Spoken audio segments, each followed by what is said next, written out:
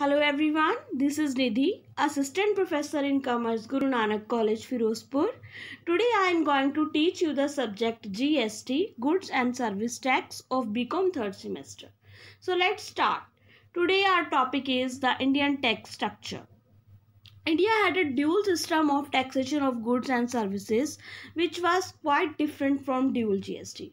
Before launching of GST in India, old taxation structure जो हमारा था, वो ड्यूल टैक्सेशन पर बेस्ड था in respect of goods and services taxes on goods were describe as VAT at both central and state level और services पर जो tax levy होता था, वो सर्विस टैक्स होता था. It had adopted value added tax principle with input tax credit mechanism for taxation of goods and services respectively with limited cross levy set off हमारे Indian taxation structure में input tax credit mechanism को follow किया हुआ था in respect of VAT input tax credit mechanism क्या होता है students जब कोई भी मैन्युफैक्चरर रॉ मटेरियल परचेज करता है एट दैट टाइम इनपुट पर कोई वो, वो एक टैक्स पे करता है। देयर आफ्टर जो वो गुड्स को ट्रांसफॉर्म कर लेता है आउटपुट की फॉर्म में, और सेल्स के टाइम पर जब वो टैक्स पे करने जाता है तो जो इनपुट के टाइम पर उसने टैक्स पे किया था, उसे वो माइनस कर लेता है, उसका क्रेडिट ले लेता है तो उसे बोलते हैं इनपुट टैक्स क्रेडिट मैकेनिज्म ठीक है? Indian taxation system has been structured with the following objectives in view Indian taxation structure जो हमारा ओल्ड टैक्सेशन स्ट्रक्चर था, वो इन ऑब्जेक्टिव्स को ध्यान में रखते हुए बनाया गया था। Number first is mobilisation of resources for economic development कि हमारे जो रिसोर्सेज हैं लिमिटेड रिसोर्सेज हैं, उनका प्रॉपर मोबिलाइजेशन हो। Second point is reduction in equality in distribution of income and wealth income and wealth की इक्वल डिस्ट्रीब्यूशन को ध्यान में रखते हुए हमारा ओल्ड टैक्सेशन स्ट्रक्चर बनाया गया था। Third point is controlling consumption of particular commodities and consumption pattern कुछ ऐसी कमोडिटीज जो जिनकी कंजम्पशन को कंट्रोल करने की ज़रूरत थी, ठीक है? जिनके कंजम्पशन पैटर्न को कंट्रोल करने की ज़रूरत थी, उसको ध्यान में रखते हुए भी हमारा इंडियन टैक्सेशन स्ट्रक्चर बनाया गया था। Protecting protecting domestic industries against foreign competition. Number fifth is encouraging saving and investment and promotion of capital formation इस तरह से हमारा टैक्सीशन स्ट्रक्चर फॉर्म किया गया था कि जिससे हमारा कैपिटल फॉर्मेशन इंक्रीज हो सके। ओल्ड टैक्स स्ट्रक्चर जो हमारा था, उसमें हमारे पास ये फोर टाइप्स के टैक्स आते थे एक्साइज ड्यूटी एक्साइज ड्यूटी का टैक्सेबल इवेंट था मैन्युफैक्चरर जो मैन्युफैक्चरिंग के टाइम पर एक मैन्युफैक्चरर को टैक्स पे करना पड़ता था, वो था excise duty service tax is leviable on services of any kind like hotel services अगर हम ले रहे हैं बैंकिंग सर्विसेज़ ले रहे हैं इंश्योरेंस सर्विसेज़ ले रहे हैं. सेंट्रल सेल्स टैक्स और वैट अगर हम सेंट्रल यानी कि अगर हम इंटर स्टेट कोई भी सेल कर रहे हैं तो वहाँ पे हमें सी एस टी पे करना पड़ता था सेंट्रल सेल्स टैक्स और वैट वैल्यू एडेड टैक्स अगर इंट्रा कोई स्टेट हमारी ट्रांजेक्शन्स हो रही है तो वहाँ पे हमें वैट पे करना पड़ता था और उसका टैक्सेबल इवेंट होता था sale custom duty taxable event is import and export import और एक्सपोर्ट के टाइम पे जो टैक्स पे करना पड़ता है, उसको बोलते हैं कस्टम ड्यूटी ये था हमारा old tax structure before launching of GST. Shortcoming in in the old structure and need for GST हमारे ओल्ड टैक्स स्ट्रक्चर में कुछ शॉर्टकमिंग्स थी, कुछ कमियाँ थी, जिस, जो, जिसके कारण ही हमें जीएसटी की नीड फील हुई, ठीक है? तो हम ये वन बाय वन स्टडी करेंगे। क्या शॉर्टकमिंग थी हमारे ओल्ड टैक्स स्ट्रक्चर में? Number first is change in economic situation old tax structure of indirect tax is based on seven schedule of constitution of India 1950 जो हमारा ओल्ड टैक्स स्ट्रक्चर था, वो seven schedule of constitution पर based था हमारे constitution के but during sixty seven years two thousand seventeen से लेकर इतने सारे ईयर्स जो हमारे नाइनटीन फिफ्टी से, से लेकर जो बने टू थाउज़ेंड सेवेंटीन तक ठीक है? सिक्सटी सेवन ईयर्स हो चुके थे or Indian and world economy have undergone sea change resulting in to change in tax structure which is compatible with global standard कि ऐसा टैक्स स्ट्रक्चर बनाया जाए जो ग्लोबल स्टैंडर्ड से मैच करे।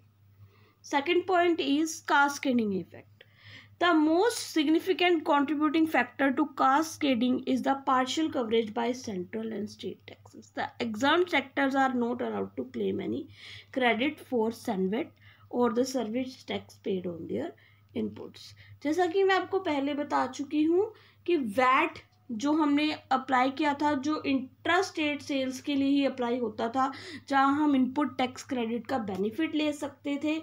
और अगर इंटर स्टेट कोई भी ट्रांजेक्शन हो रही है तो वहाँ पे हम इनपुट टैक्स क्रेडिट का बेनिफिट नहीं ले सकते थे, जिससे टैक्स ऑन टैक्स पे करना पड़ जाता था, जिसे बोलते हैं cascading effect levy of excise duty on manufacturing point. The sandwich is levied on goods manufactured or produced in india. Limited the tax to the point of manufacturing is a sever amendment to an efficient and neutral application of tax. Taxable event at manufacturing point itself forms a narrow base. Fourth point is inability of states to levy tax on services. With no powers to levy tax on incomes, or the fastest growing component of consumer expenditure, the states have to rely almost exclusively on compliance improvement or rate increases for buoyancy in their own source revenues. कि states को कोई भी service tax levy करने की freedom नहीं थी जिसके कारण स्टेट्स की जो रेवेन्यू है वो बहुत कम रह जाती थी number fifth point is exemption and concessions under the current system जो हमारा ओल्ड टैक्सेशन स्ट्रक्चर था, business enjoys many kinds of exemption and concession under different levies which break the chain of VAT and thus create distortion. मतलब different different jurisdiction different different area में अलग अलग तरह के examples थी concessions थी, जिसके कारण एक one tax one base of tax decide नहीं हो पाता था, जिसका किसी एक स्टेट को ज़्यादा बेनिफिट हो जाता था, किसी एक स्टेट को कम बेनिफिट हो जाता था, जो कि एक शॉर्ट कमिंग थी ओल्ड टैक्सेशन स्ट्रक्चर में। Lack of transparency six point is lack of transparency under excise and service tax law, currently there is no mechanism to cross verify the claim of sandwich credit made by the manufacturer. जो हमारा old tax structure था old taxation structure में हमारी lack of transparency थी कि हम ये नहीं पता कर पाते थे कि एक मैन्युफैक्चरर ने इनपुट पर कितना टैक्स पे किया और आउटपुट पर वो कितना टैक्स माइनस कर रहा है। दिस लैक ऑफ़ ट्रांसपेरेंसी जो हमें अराइज हुई, इसीलिए, इसी के कारण हमें नीड फील हुई जीएसटी की। Next point is lack of uniformity in provisions and rates जो यूनिफॉर्मिटी का एक फैक्टर था, यानी कि जो एक रेट हम बोल सकते हैं जिसमें वो एप्लीकेबल नहीं होता था अलग अलग प्रोविजंस होती थी, हर हर एक स्टेट की अपनी प्रोविजंस होती थी सेंटर की अलग प्रोविजंस होती थी, जिसके कारण हमें जीएसटी की नीड फील हुई। Eighth point is multiple point of taxation. Under the current system, there are multiple point of taxation. Excise पर हमें अलग टैक्स पे करना पड़ता था। मतलब एक्साइज ड्यूटी अलग पे करनी पड़ती थी at the time of manufacturer ठीक है? उसके बाद हमें सेल्स अगर करनी है इंट्रा स्टेट सेल्स करनी है तो अलग इंटर स्टेट करनी है तो अलग, जिसके कारण मल्टीपल पॉइंट्स ऑफ़ टैक्सेशन हो जाते थे। कास्केडिंग इफ़ेक्ट इंक्रीज हो जाता था। ये हमारी एक शॉर्ट कमिंग थी ओल्ड स्ट्रक्चर में। नाइन्थ पॉइंट है हमारे पास artificial logistic barriers due to presence of state information collection system movement of goods from one state to another state is hampered and each movement cost at least two percent C S T plus working capital blockages due to delay in clearances okay तो ये भी हमारी shortcoming थी old tax structure की, जिसके कारण हमें need feel हुई जीएसटी की। Tenth point is complexity in determining the nature of transaction that is goods versus service कई बार ऐसा भी हो जाता था कि हम डिस्टिंक्शन नहीं कर पाते थे कि को किस हम थिंग को गुड्स बोले या उसे सर्विस बोले। लाइक like, सॉफ्टवेयर अगर हम सॉफ्टवेयर पर कोई भी टैक्स लेवी कर रहे हैं तो ये एक कंफ्यूजिंग स्टेट थी कि हम सॉफ्टवेयर को किस कैटेगरी में डालें, उसे हम गुड्स माने या सर्विस माने। तो ये भी एक शॉर्टकमिंग थी ओल्ड टैक्स स्ट्रक्चर में, जिसके कारण जीएसटी की नीड फील की गई। Next goods and service tax so now come to the point GST कि अब जीएसटी क्या होता है? जो हमारा जीएसटी लॉन्च किया गया शॉर्टकमिंग्स को देखते हुए। Goods and service tax is a tax on goods and services leviable at every point of the supply chain goods एक जीएसटी एक ऐसा टैक्स है जो गुड्स एंड सर्विसेज़ पर लेवी किया जाता है हर एक point of supply in which the manufacturer or service provider can claim the input tax credit and its ultimate burden is borne by the last customer यहाँ पे जो मैन्युफैक्चरर है और सर्विस प्रोवाइडर है वो इनपुट टैक्स क्रेडिट क्लेम कर सकता है चाहे वो सेंटर में है या फिर वो स्टेट में है ठीक है बट जो इसका अल्टीमेट बर्डन है वो कस्टमर को ही बोन करना पड़ेगा goods and service tax means a tax on supply of goods or services or both except taxes on supply of alcoholic liquor for human consumption जिसके लिए एक अलग से रेट्स बनाए गए हैं, अलग से पैटर्न बनाया गया है।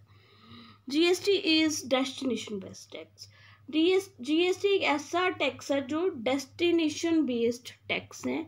यहाँ पे गुड्स में वहीं पे टैक्स लगाया जाएगा, उसी स्टेट में टैक्स लगाया जाएगा, जहाँ पे गुड्स अल्टीमेट कंज्यूम की जाएँगी।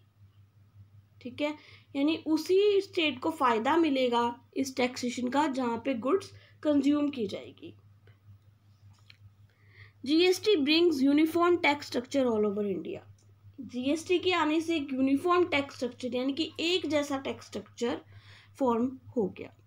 GST burden borne by the final consumer तो हमें पता है कि जीएसटी भी एक इनडायरेक्ट टैक्स है, इसलिए इसका जो प्राइस है वो गुड्स में इंक्लूड होगा और अल्टीमेटली जो है टैक्स का बर्डन किससे बॉर्न करना पड़ेगा? कंज्यूमर को। Now come to the point conceptual framework of G S T conceptual framework of G S T क्या है? G S T is implemented in India on a dual structure basis G S T एक dual structure basis tax है। That is the central and states have concurrent power to levy collect and, administer gst central को भी ये power मिली हुई है और state को भी कि वो जीएसटी को लेवी करे कलेक्ट करे अमाउंट और एडमिनिस्टर करे।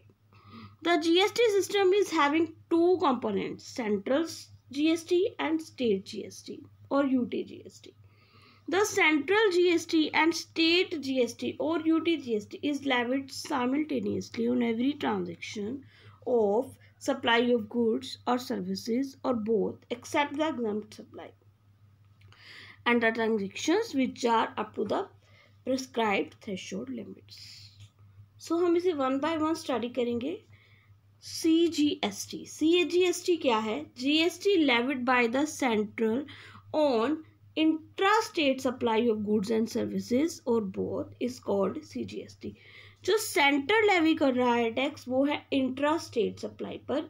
उसे बोल रहे हैं हम C G S T S G S T G S T levied by the state or intra state supply of goods and services or both would be and state G S T U T G S T क्या है? On every supply of goods or services or both within the union territory of Andaman Nicobar Island, Lakshadweep, Dadra Nagar and Haveli, Daman and Diu, Chandigarh Union Territory GST is levied. जितनी भी हमारी union territories हैं ठीक है वहाँ पे जो tax levy हो रहा है कलेक्ट हो रहा है एडमिनिस्टर हो रहा है उसे बोलेंगे U T G S T ठीक है fourth point is I on every inter state supply of goods and services जो C G S T S G S T है, वो इंट्रा स्टेट सप्लाई पर अप्लाई किया जाता है। लेकिन इंटर स्टेट सप्लाई पर, यानी अगर हम बिटवीन टू स्टेट कोई भी सप्लाई कर रहे हैं, कोई भी ट्रांजेक्शन कर रहे हैं तो जो टैक्स वहाँ पे लेवी किया जा रहा है, उसे बोलेंगे I G S T I G S T means integrated G S T will be levied and collected by the centre next point is import of goods or services or both import of goods or services or both shall be treated as inter state supply अगर हम किसी भी goods की को import कर रहे हैं, बाहर से मंगवा रहे हैं तो वहाँ पे जो टैक्स लगेगा, उसे हम किस तरह से ट्रीट करेंगे? इंटर स्टेट सप्लाई की तरह ट्रीट करेंगे and would be liable to I G S T ठीक है? जो integrated goods and service tax लगाया जाता है, जिस रूल्स के अकॉर्डिंग लगाया जाता है, वही हम इम्पोर्ट्स पर गुड्स इम्पोर्ट्स की गुड्स एंड सर्विसेज़ पर लगाएँगे। ठीक है? Since GST is a destination based consumption tax IGST on import shall be levied and collected by the state in which goods and services or both are finally consumed okay next point है हमारे पास export of goods and services or both exports will be treated as zero rated supply no tax will be payable on export of goods or services or both. Exports जो हम सामान बाहर भेजते हैं country के बाहर आउटसाइड जो हम सेल करेंगे सप्लाई देंगे, वो ज़ीरो रेटेड सप्लाई है और उस पर किसी भी तरह का कोई टैक्स नहीं लगाया जाएगा। However credit of input tax credit will be available यानी कि अगर आपने कोई भी इनपुट टैक्स पे किया है तो उसका रिफंड आप ज़रूर क्लेम कर सकते हैं। ठीक है? Last point is C G S T rules two thousand seventeen prescribe various procedures and ठीक है? जो हमारा कंसेप्चुअल फ्रेमवर्क ऑफ़ जीएसटी है, उसके रिगार्डिंग जितने भी प्रोसीजर्स और फॉर्म्स प्रोवाइड किए किए जाते हैं, वो हम, वो किसके अकॉर्डिंग है? C G S T rules two thousand seventeen के according so students this this is my end of our chapter ठीक है? लास्ट टॉपिक हमारा था ये conceptual framework of GST next chapter हम नेक्स्ट लेक्चर में डिस्कस करेंगे. Thanks have a nice day